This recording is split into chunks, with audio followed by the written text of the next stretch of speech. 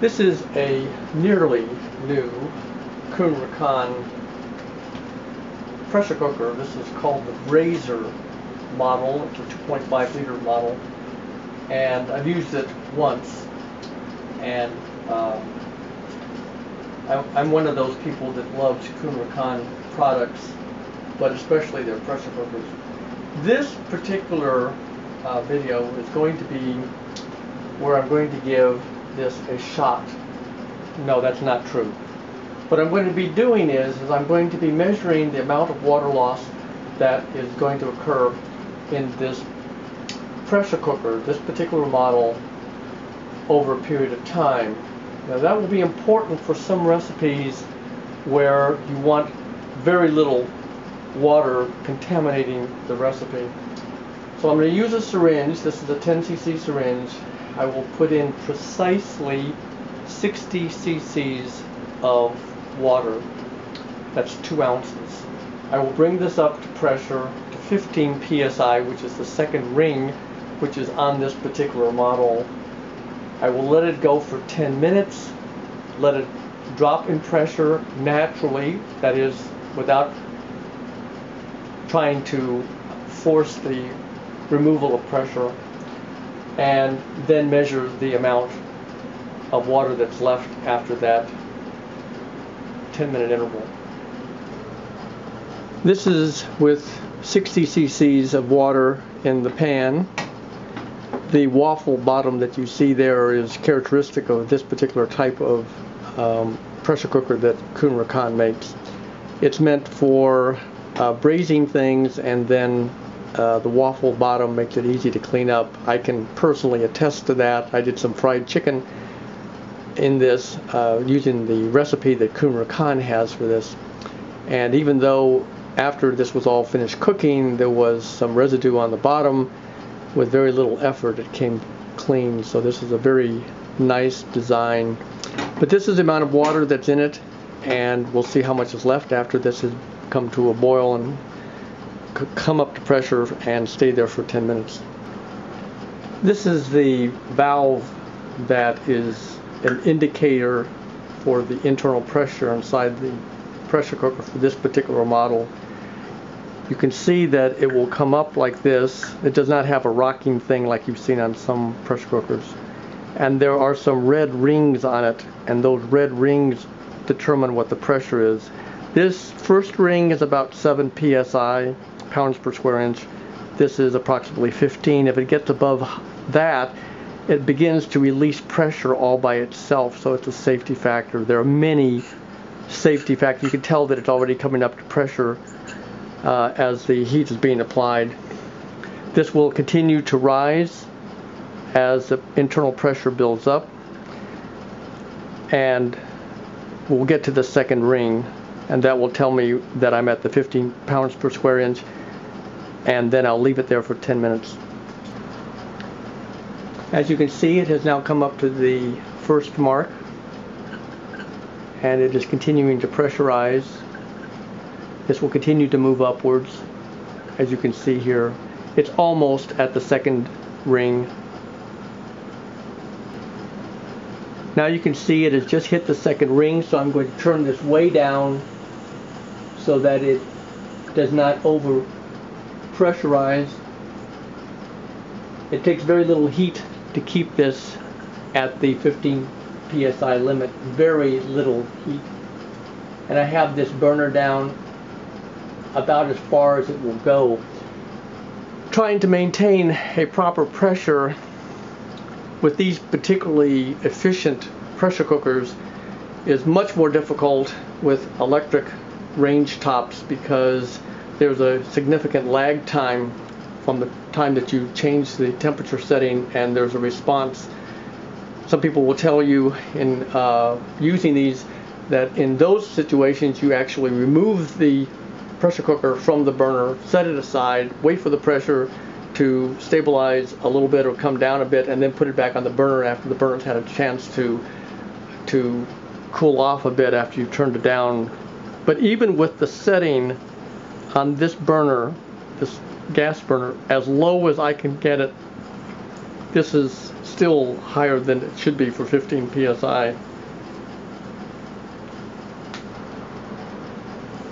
Now I have managed to get the pressure pretty much back down to the second ring. I may have to continually adjust this a little bit. I have about another eight minutes to go. This is coming up on nearly five minutes and about another 30 seconds.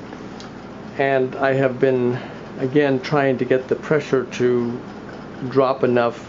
It does a little bit, but this is a very fine adjustment. A plate is available from Kuhn Rikon that goes underneath the pressure cooker.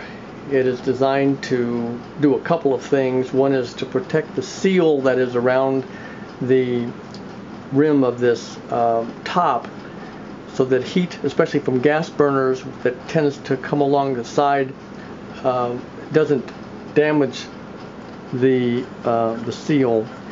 But it also distributes the heat and tends to moderate it a little bit and um, and that probably would be a good idea. I have one of those plates, but I've actually never used it. This is now a little past about almost coming up on seven minutes. And again, despite my best efforts to try to get this flame down, and it's as low as I can get it really, this is still a little higher than I would like. Keep in mind that this only has a little bit of water in it. There's nothing else that's being cooked, if you want to call it that and so all the heat is being used to generate steam pressure and nothing else. In a real world environment where you have uh, material in here, uh, there's going to be some general radiating of the heat from the contents away from the pressure cooker, and as a result, um, there will be, in general, a, a little easier time maintaining this this ring setting. Um, but it's not easy with only two ounces of water. This is now eight minutes and I've gotten the pressure pretty much down to where it's supposed to be. Now here you can see that the pressure has gone down a little too far so I'm going to turn the heat back up a little bit. And this is a constant battle with this small amount of uh, contents within the pressure cooker to get this exactly regulated at the second ring. Here I have added a little bit more heat and brought the, the pressure up a little bit. I've only got about 30 seconds to go and then I will turn the heat off and let this coast. Generally when there uh, is something being cooked, it takes about 10 minutes or so for the pressure to gradually reduce on its own to where now the lid can be removed and this is completely flat like it was when it started out. Okay, this is now 10 minutes, so I will turn off the heat and we'll let this coast. One of the points that I should mention as this is cooling off is that 10 minutes of cooking time for this type of pressure cooker is quite a long time. If you put things in here like chicken legs or thighs or things like that, 10 minutes is enough to cook them at 15 psi.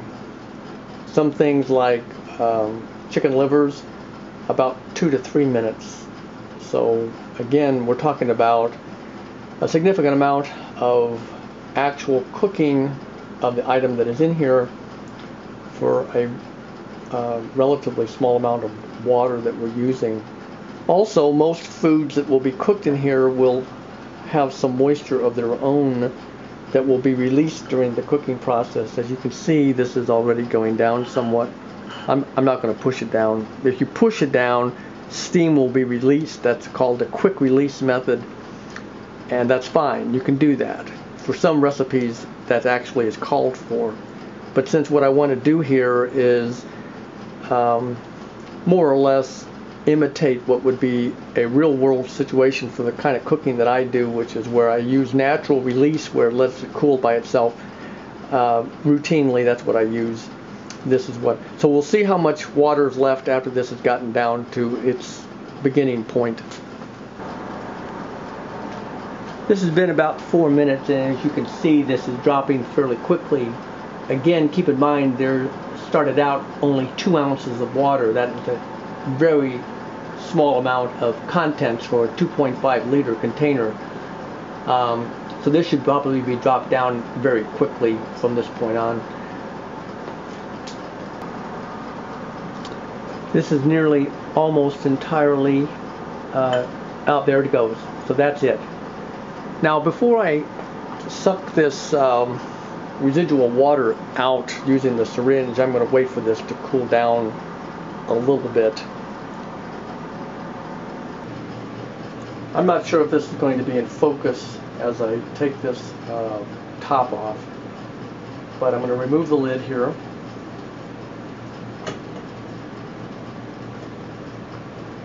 And my arm is in the way. Shake off whatever residual water is in here and set this aside. I'm going to go ahead and pour this residual water into this measuring cup so that I have at least something to hold this. Now remember we started off with two ounces of water, 60 cc's, that's one quarter cup.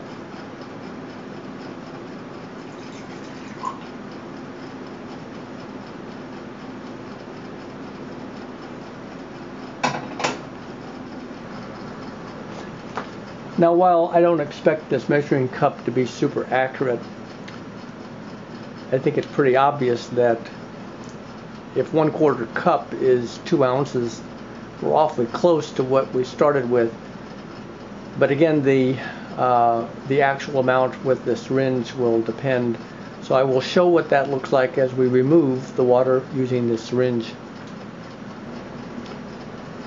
Okay, this is the syringe that I started with and I am removing the first 10 cc's and discarding it into the pan.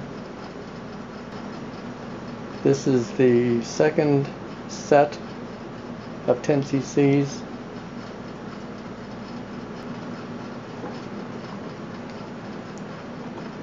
This is going to be the third set which will make us now 30 cc's.